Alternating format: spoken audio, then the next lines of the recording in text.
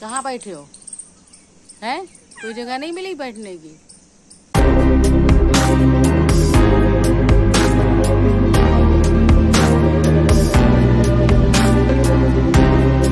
असलकुम my YouTube family. कैसे हैं आप सब? तो ये देखिए इन शैतानों की कारस्तानी की ये शरीफे के पेड़ पे सबसे ऊपर चढ़े हुए हैं। बहुत बदमाश हो तुम लोग कसम से ये देखो। ये देखो इतनी ऊँचे चढ़े हुए हैं।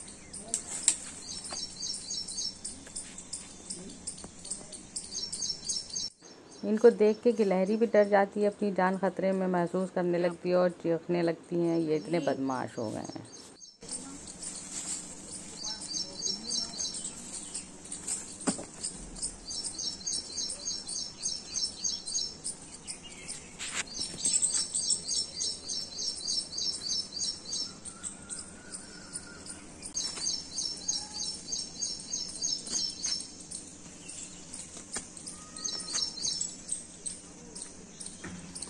कहाँ बैठे हो? हैं? कोई जगह नहीं मिली बैठने की?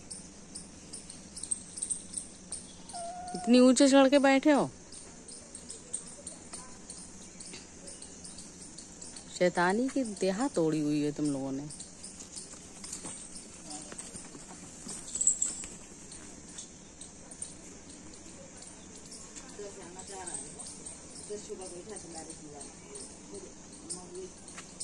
चलो नीचे उतरो। चलिए नीचे उतरो।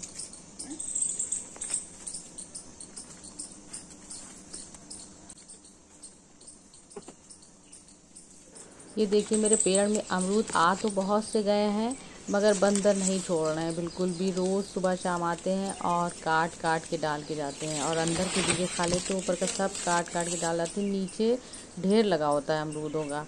तो बस ये मुश्किल से ही थोड़े मिट्टू के लिए मिल पा रहे हैं, या हम लोग खाते हैं। अच्छा मेरा गार्डन मेरे घर के पीछे है, इसलिए हम लोगों को पता भी नहीं चलता है कि बंदर कब आ जाते हैं।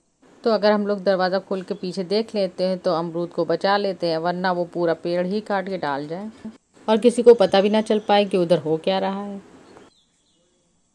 तो आज संडे को छुट्टी मिली तो हमने सोचा थोड़ी सी वीडियो ही बना लें और बादल देखिए कितने अच्छे सुबह आते हैं। मगर दोपहर होते होते इतनी तेज़ धूप हो जाती है और कल लेकिन बारिश हुई थी बहुत तेज़। बस साढ़े बारह बजे शुरू हुई थी और एक बीस पे ख़त्म हो गई थी। तो इतनी देर में लेकिन ठंडा हो गया था और बड़ा अच्छा मौसम हो गया था। फिर आज लेकिन बादल हैं और उसके बाद धूप भी अपने दर्शन दे रही है और, और इनकी शैतानियाँ तो अपने उरूज पे हैं। कोई शैतानी का मौका हाथ से जाने ही नहीं देते हैं। कभी अमरूद पे चढ़ रहे हैं। अमरूद पे चढ़ के वहाँ से गिलहरियों को, चिड़ियों को परेशान करते हैं। बेचारी चिल्लाती रहती हैं।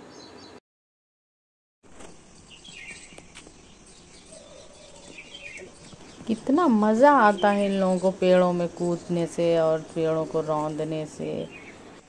पापा मेरे बीमार हैं, इसलिए वो इधर आ नहीं पा रहे हैं। तो इन्हें पूरी खुली छूट मिली हुई है, क्योंकि हम तो इन्हें कुछ कहते नहीं हैं भाई। और पापा को भी टोकते हैं कि पापा मत कहा करिए बेचारों को। माशाल्लाह, हमारे नींबू में भी बहुत से नींबू आ गए हैं, लेकिन ये पेड़ मेरा एक बार गिर गया था पिछले साल। इतनी ज़्यादा बारिश हुई थी कि इस, ये पेड़ बहुत बड़ा हो गया था मेरा और उसका पानी का वज़न नहीं सह पाया तो जिसकी वजह से ये पूरा गिर गया था। और इसको उठाने में और बांधने में बहुत ज़्यादा मेहनत करना पड़ी थी। चारों तरफ़ से रस्सियों से बांधा गया था और बल्लियाँ लगाई गई थी।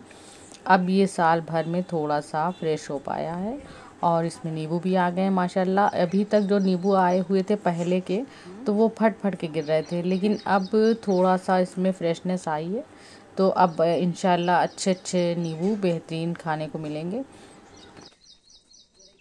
और ऐसा नहीं है कि ये नींबू सिर्फ़ हम लोग अकेले खा लेते हैं, ये नींबू माशाल्लाह मेरे पूरे ख़ानदान में बढ़ते हैं और काफ़ी काफ़ी तादाद में बढ़ते हैं। तो शायद अल्लाह मियाँ ने इसीलिए इस पेड़ को बचा लिया, क्योंकि इसमें सबके हिस्से लगते हैं।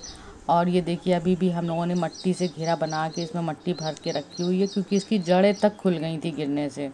और बल्ली और रस्सी जो बंधी थी वो सब हटा दी है। बस ये घेरा रह गया है और इन ये मज़बूत हो गया तो बहुत अच्छे फल इसमें आएँगे। और जो पहले फूल आ चुके थे गिरने के बाद भी तो वो अब ये इतने बड़े बड़े हो गए हैं और इसमें फूल भी आ रहे हैं फिर से। तो इन दोबारा से सबको नींबू मिल जाएँगे। और सभी अब बार बार पूछते हैं, नींबू आए नींबू आए। नींबू तो आ गए हैं, लेकिन फट के गिर रहे थे, उनका कोई फ़ायदा नहीं था। अब इंशाल्लाह फ्रेश आएँगे तो सबको ही नींबू मिलेंगे। और यहाँ पे हमारी मौसमी भी काफ़ी बड़ी बड़ी हो रही हैं, लेकिन इनको साल भर लग जाता है पकने में और बड़ा होने में। इसका फूल फरवरी में आता है, और ये हम लोग बंदर से जितने बचा पाते हैं, बचा लेते हैं। उसके बाद अक्टूबर, नवंबर तक पक पाती हैं। और अगर जल्दबाजी में तोड़ लो तो ये खट्टी तो होती हैं, खट्टी होती हैं, लेकिन मीठी नहीं होती हैं।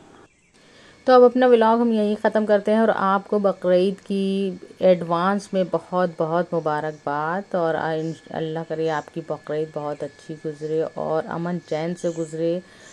और हमारे हिंदू और मुस्लिम सब भाई एक साथ मिल के बकरीद मनाएँ और पहले जैसा माहौल हो जाए जो पहले था और सब मिलजुल के रहते थे। तो मिलते हैं नेक्स्ट व्लॉग में, तब तक के लिए अल्लाह हाफिज़।